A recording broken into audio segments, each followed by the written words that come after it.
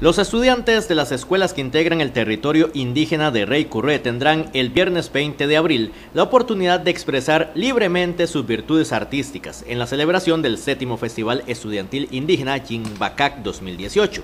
Estas actividades se llevarán a cabo en el Salón Comunal de Rey Curré, situado en el Cantón de Buenos Aires de Punta Arenas.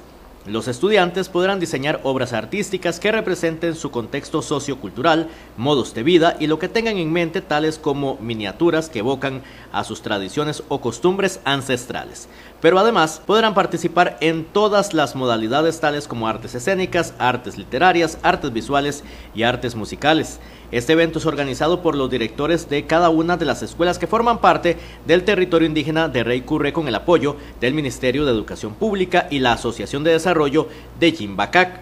Los asistentes tendrán derecho a disfrutar de un refrigerio a su llegada y de un delicioso almuerzo. La agenda de actividades para este viernes 20 de abril inician a las 8 de la mañana y se extienden por todo el día.